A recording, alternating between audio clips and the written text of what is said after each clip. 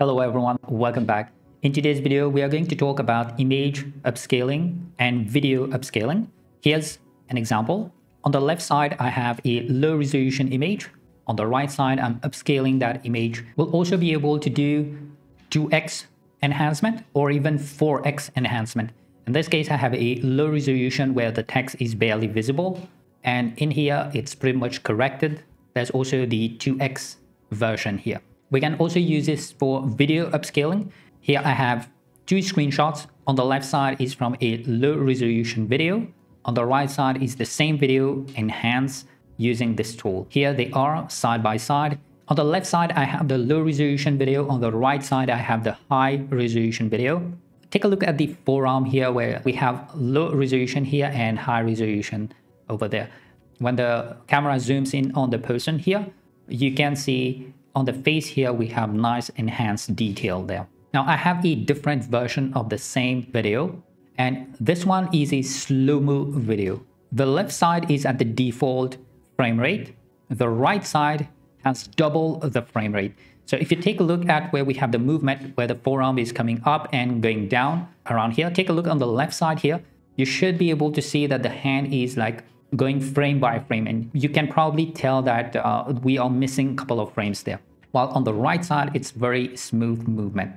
So you will be able to do frame interpolation, video upscaling, image upscaling, all of that inside one tool. It runs locally on your own machine.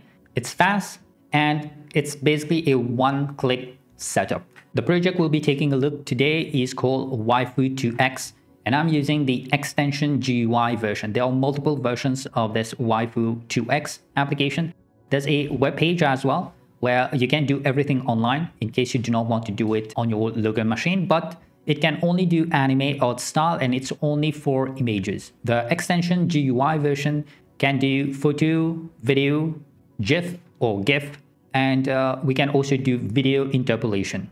It supports AMD, NVIDIA, as well as Intel GPU. Scrolling down on the page here, by the way, I'm going to have the link in the description of this video. You will have uh, the option to download this as a portable package. Now, keep in mind that this specific version, the extension GUI, is only for Windows 64-bit.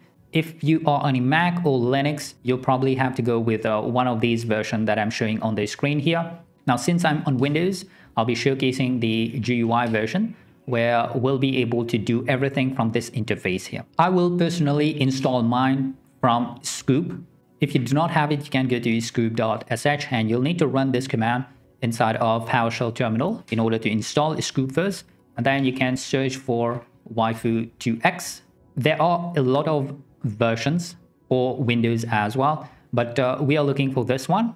And we can simply copy the command, copy the first one, go inside your terminal, paste it. I've already done this, which is why I have the bucket already.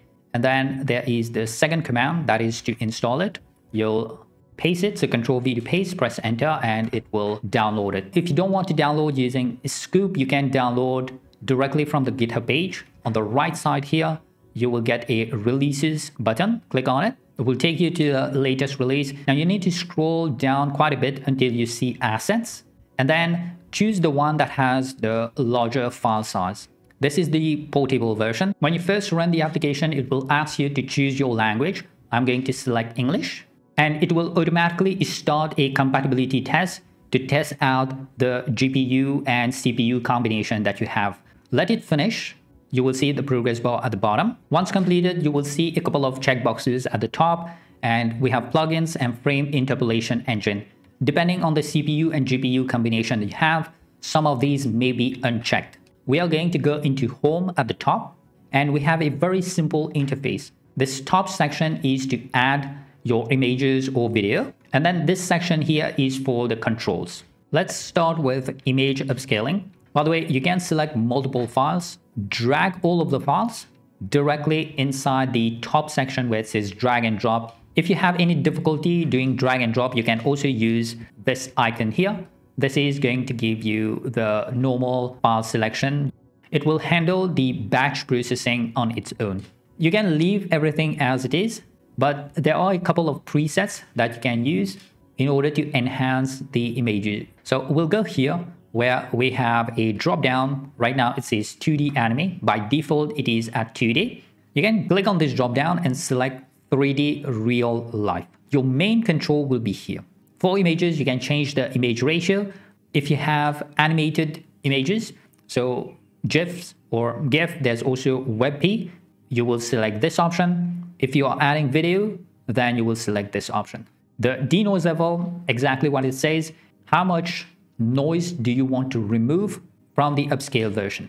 Now this value go from negative 1 all the way to 3. Negative 1 means no denoising. If your original image do not have noise, it's best to use negative 1 to avoid adding extra unnecessary artifacts. To start the upscale, you would click on this start button here. And you will see a progress bar like this. That was very fast. Click on OK. The generated output images, those upscale version, will be in the input images folder itself. Here's the output. So this is the original video and let's go to 100% here. This is how it looks. And here's the upscale video at 100%. This is how much detail I'm able to get from the image. Now this was just 2x upscale. We can go back. I'm going to get the same image, drag and drop once again. And this time under scale ratio, I'm going to type in 4.0, click on the start, it's completed. And in the output folder, we can see the original one, the 2x version, and then the 4x version. So it's clearly labeled there. Again, we can take a look at the final output here. This is the 4x version. Let's go to 100% zoom level.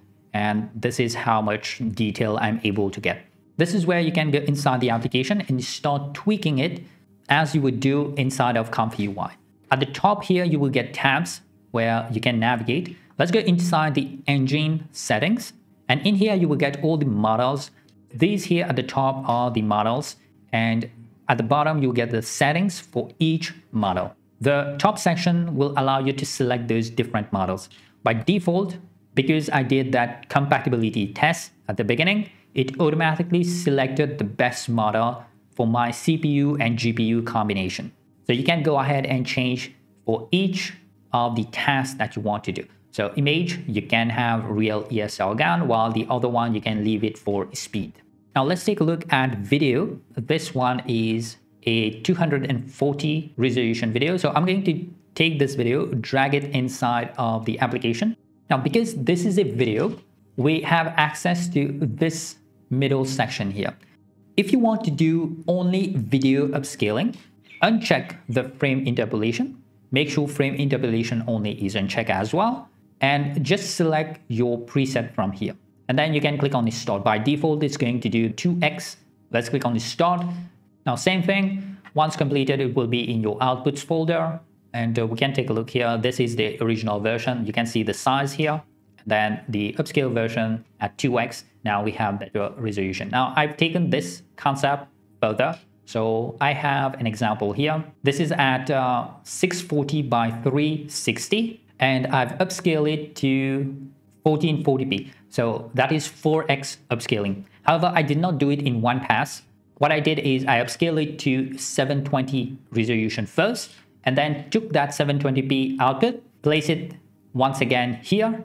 At 2x, we get 1440p. So you can do this. And here's the output. So 360 is like this and then this is 1440p. You can see the difference in size. Very quickly, I'm going to show you how I did the slow-mo version here in case you want to do something like this or you want to enhance your AI generated images. After all, you can get your ComfyUI generated images like this one. This is the original version. Here is the frame interpolated version. And here's the upscale frame interpolated version. So take your video. I'm going to take the ComfyUI video place it in the application at the top and we'll go in this section here to do the frame interpolation in order to increase the number of frames in the video. So this video is at 15 frames per second. When you do frame interpolation, we can double the amount of frames per second. We go to 30 frames per second and uh, the upscale version is at 2048 and then the frames per second is at 30 frames per second. So once you have your video file here, we'll go into this box here, check frame interpolation. If you do not want to do upscaling, you will check this frame interpolation only. If you want to do upscaling plus frame interpolation, then uncheck it. And well, that's pretty much it. Click on the start. It will generate double the resolution because we did not check this frame interpolation only checkbox. It will also double the frame rate. Thanks for watching until the very end. If this video was helpful, consider giving this a like. I would like to say a big thank you to everyone supporting the channel on Patreon. Take care, have a nice day, I will see you next time.